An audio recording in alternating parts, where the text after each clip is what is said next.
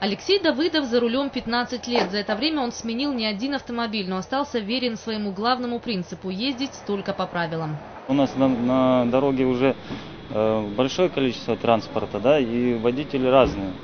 То есть кто-то лихачит, кто-то ездит спокойно. Я сам не нарушаю, поэтому я не боюсь э, штрафов, то, что они подняли.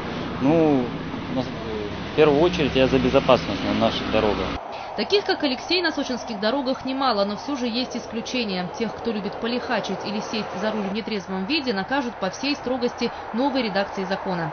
Сильнее всего изменения ударят по кошельку именно нетрезвых водителей.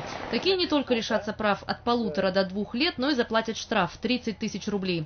А при повторном нарушении придется выложить 50 тысяч и ходить пешком три года. Кстати, всем, кого лишили прав, придется снова сесть за парту, пересдать экзамен на знание ПДД. Новый закон вводит и допустимую норму алкоголя 0,16 промилле. Но это не значит, что водителям можно выпивать за рулем. Эти цифры отражают только погрешность прибора.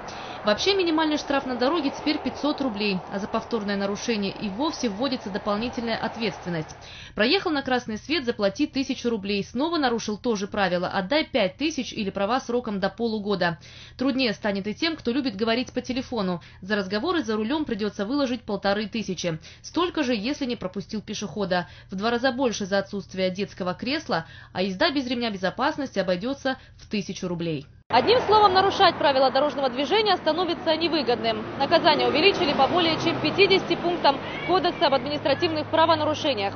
Впрочем, новая редакция закона дает и послабление водителям. Теперь за превышение скорости до 20 км в час штрафовать не будут вообще. Ольга Десятова, Николай Тихонов, телекомпания СКТ.